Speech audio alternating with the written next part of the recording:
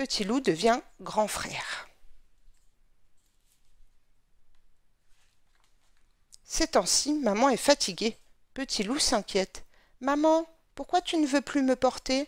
Pourquoi tu dors tout le temps? Maman prend Petit loup sur ses genoux et lui murmure. C'est parce que j'ai un secret. Papa et moi, on va avoir un bébé. Petit loup est très surpris. Mais il est où le bébé? demande-t-il. Maman explique. Bébé est là, bien au chaud, dans mon ventre.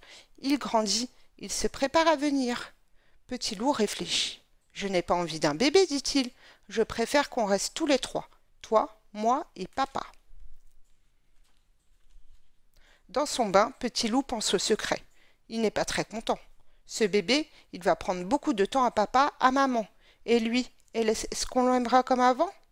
Alors, plouf, Petit loup envoie de la mousse partout. Et tiens, bien fait. Oh là là, soupire papa, que s'est-il passé ici? Une bataille de requins? Une fête chez les pingouins? Mais petit loup se met à pleurer. Je ne veux pas d'un autre bébé. Maman prend petit loup dans ses bras. Ne t'inquiète pas, quand le bébé sera là, papa et moi, on t'aimera toujours autant. Et puis, le bébé sera tout petit, ajoute papa. Il aura besoin de son grand frère près de lui. Petit loup sourit. Il n'avait pas pensé à ça. Le ventre de maman grossit de jour en jour. Il devient énorme. Tu es une maman éléphant, rit Petit Loup. Et il pose la tête sur son ventre. Il sent le bébé bouger. Maintenant, il a hâte de le rencontrer. Un après-midi, enfin, papa vient chercher Petit Loup à l'école. Le bébé est arrivé, annonce papa. Petit Loup est fier comme un roi, tout excité aussi.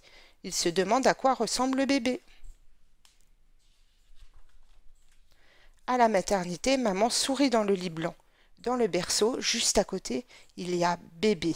C'est ta petite sœur, dit papa. Tu peux la prendre contre toi. Qu'elle est petite. Petit loup n'en revient pas. C'est une coquine, ça se voit, dit Petit loup. On va bien s'amuser, elle et moi.